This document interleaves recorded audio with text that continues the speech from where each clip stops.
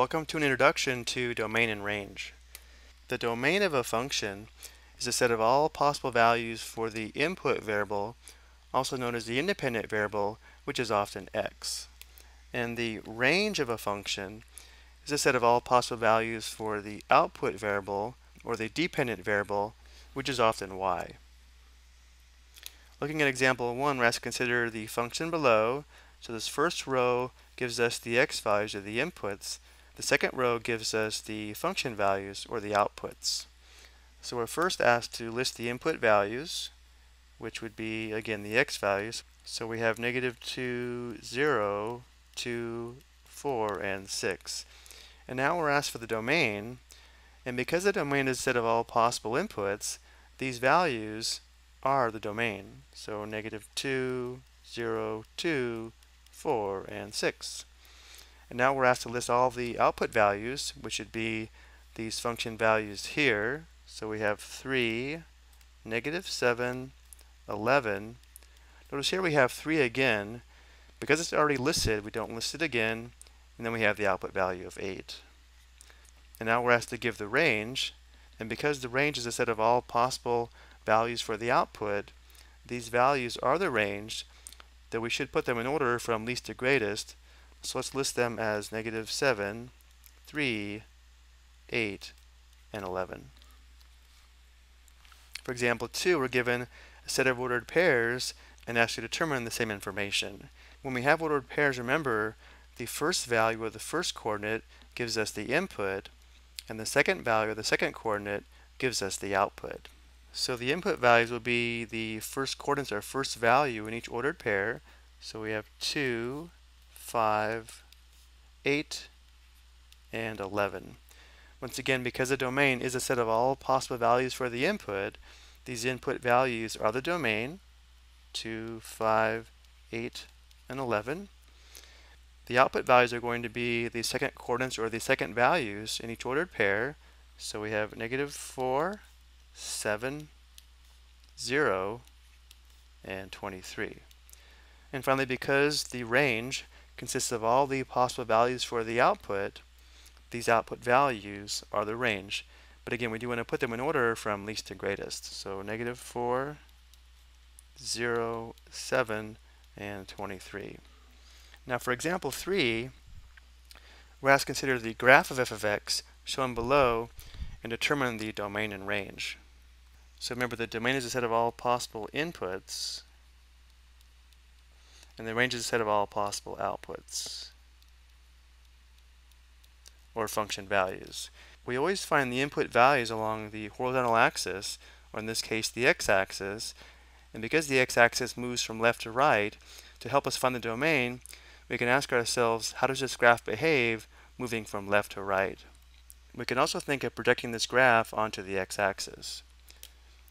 Notice how the leftmost point of this graph is here, at an x value of negative 4, the rightmost point on the graph is over here at x equals 6. So notice how this function takes on all of the input values from negative 4 to positive 6 and also includes the endpoints because we have a closed endpoint here and a closed endpoint here. If we think about squishing and projecting this graph onto the horizontal axis, notice how it would start here and end here which means the domain is x is less than or equal to positive 6 and greater than or equal to negative 4. It may be hard to see, but this is negative 4 on the horizontal axis, and this is positive 6. It doesn't ask, but if we wanted to express this using interval notation, we'd have the closed interval from negative 4 to positive 6. Because the endpoints are included, we'd use square brackets here and here. Now, to determine the range, because the outputs occur on the vertical axis, we want to ask ourselves, how does this graph behave vertically? Meaning how low does it go and how high does it go? We can also think of projecting this onto the y-axis. Notice how the lowest point of this function occurs down here, where the y value or output would be negative 1. This is a closed point, so the interval would include negative 1. The highest point on this graph is here, where the output value would be here at positive 8. And this function has every output value from negative 1 all the way to positive 8. Again, if we think of projecting this or squishing this onto the vertical axis, the lowest point would be here, and the highest point would be here.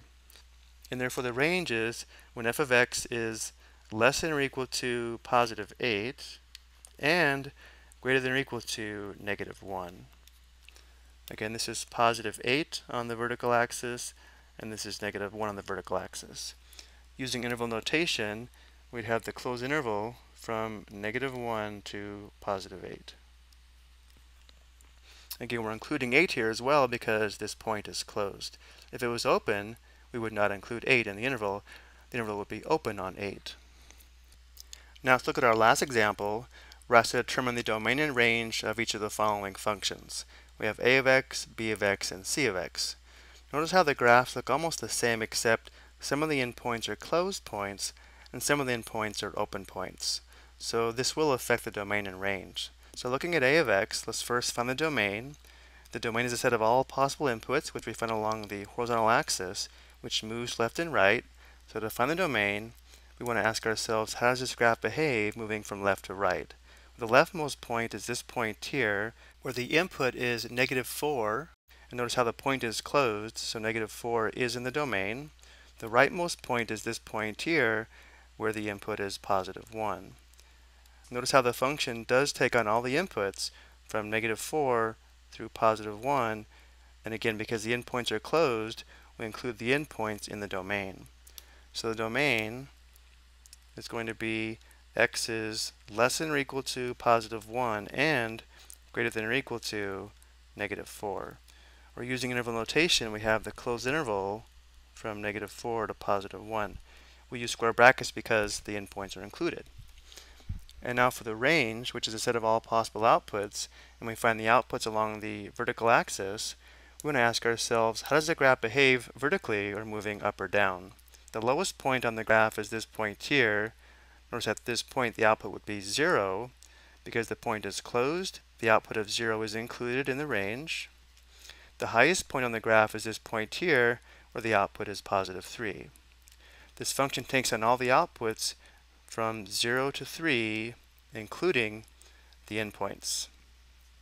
And therefore the range is a of x is less than or equal to 3 and greater than or equal to 0. Using interval notation, we have the closed interval from 0 to 3. And of course, we can also think about projecting the graph onto the horizontal and vertical axes. Notice if you project it onto the horizontal axis, the graph would start at negative 4, and go to positive 1, including the endpoints. If you project it onto the vertical axis, the graph would start at the output value of 0 and go up to the output value of positive 3, again including both endpoints. Now looking at b of x, notice how the only difference here is that the endpoints are open points along the horizontal axis. Negative 4 is not included because of the open point. Positive 1 is not included because of the open point, but all the values between these two are in the domain, which means now the domain would be when x is less than 1 and greater than negative 4. Or using interval notation, we now use rounded parentheses to show the endpoints are not included. And the same thing for the range. The lowest point is here where the output would be 0 because the point is open. The range now does not include 0. The highest point is still here where the output would be 3, but because the point is open, 3 is now not in the range, but all the values between these two are. So now the range is the open interval from 0 to 3.